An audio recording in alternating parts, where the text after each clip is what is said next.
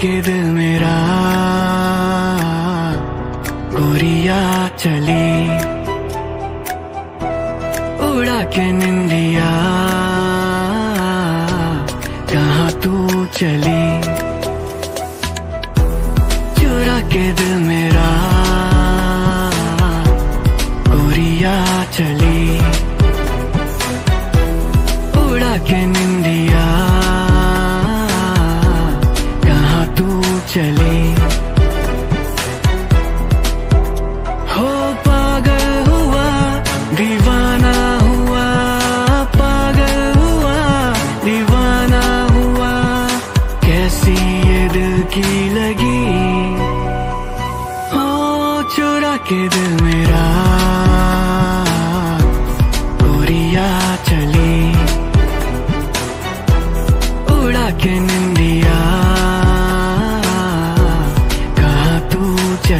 নমস্কার বন্ধুগণ, আমাদের চ্যানেলের আরও একটা নতুন ভিডিওতে তোমাদের স্বাগত জানাই। আজকে হলো সোমবার আর এখন সকাল আটটা বাজে। এখন থেকেই আজকের ভিডিওটা শুরু করলাম। তাহলে বন্ধুরা, তোমরা ভিডিও সঙ্গে থাকো, ভিডিও দেখতে থাকো। আশা করি আজকের ভিডিওটাও তোমাদের খুব খুব ভালো লাগবে। এখনও আটটা বাজিনি আর ফাইনালি আমরা দোকানে পৌঁছে গেছি। সকালবেলার ওয়েদারটা দেখো কি সুন্দর মনোরম ওয়েদার ঠান্ডা ওয়েদার কিন্তু একটু পরে বেলা বাড়ার সঙ্গে সঙ্গে সূর্যের তাপে সব কিছু পাল্টে যাবে। আর বন্ধুরা, এখন যে কাজটা আমি করব, সেটা হলো কম্পিউটারটাকে আমি শাট ডাউন করে দেবো। সারাদিন আর কম্পিউটারে বসা হবে না। এখন দোকানের কাজ করতে হবে। বন্ধুগণ, এখন দুপুর পৌনে তিনটে বাজে। আর এখনকার খাস খবর হলো, সারাদিন কিছু না খেয়ে উপোস করেছিলাম।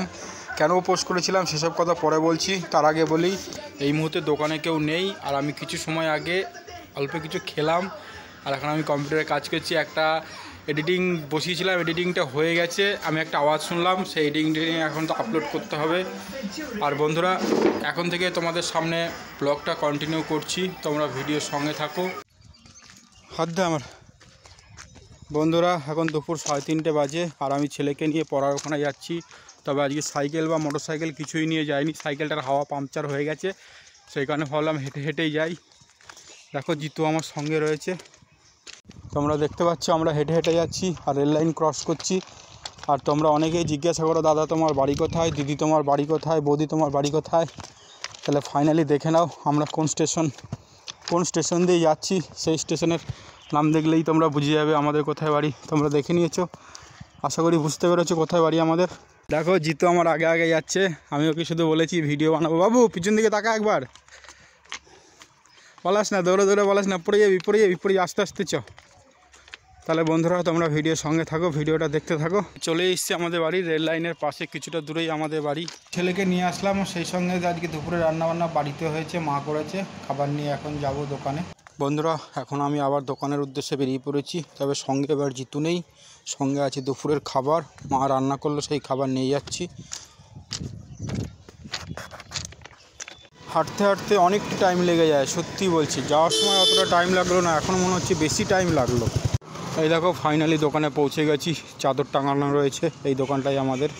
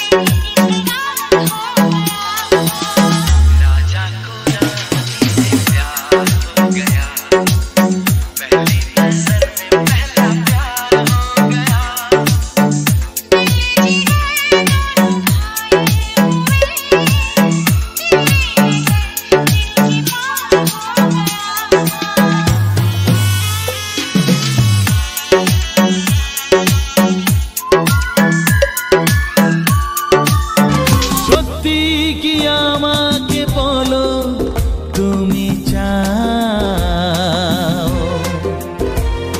সত্যি কি আমাতে